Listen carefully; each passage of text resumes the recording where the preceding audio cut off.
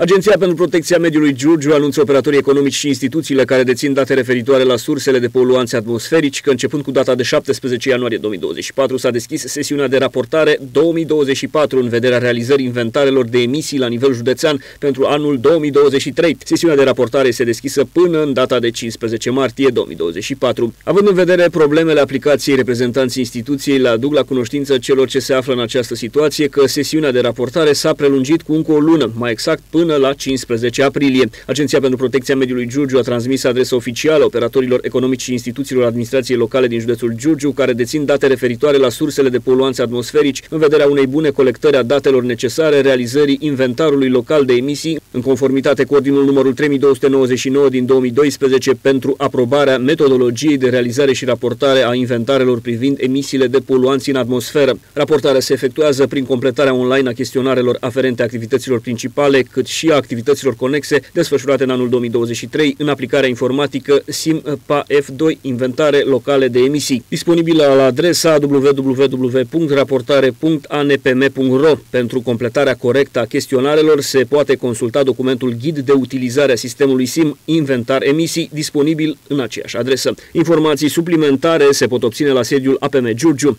În conformitate cu articolul 79.3 alineatul A din legea 104 din 2011 privind calitatea cerului înconjurător în nerespectarea obligației titularului de activitate de a furniza autorităților competente informațiile solicitate pentru elaborarea inventarelor de emisii de poluanți atmosferici, constituie contravenții și se sancționează cu amendă de la 500 de lei la 2000 de lei pentru persoane fizice și de la 5000 de lei la 10.000 de lei pentru persoane juridice.